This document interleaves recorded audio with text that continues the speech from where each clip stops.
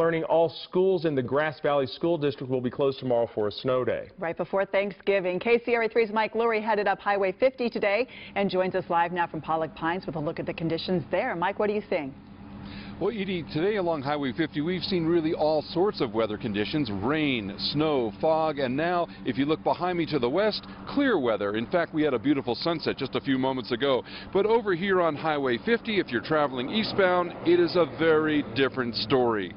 It can be a very slippery slope along Highway 50 where many drivers experienced some rain mixed with snow as they got to the 4,000 foot elevation. And once you get to the town of Kyburz, we found chain controls in effect with drivers having to shell out around $130 for chains and installation, some telling us they had no choice.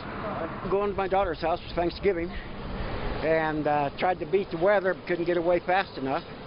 And uh, so got up there, had to turn around, come back, and the chain installers are doing some very good business today, but they are warning people not to go faster than 30 miles per hour on those treacherous turns, especially with chains on. Now, here along Highway 50, we've seen many people going way too fast, and of course, Highway Patrol and Caltrans telling people just to slow down, keep it safe, keep it slow.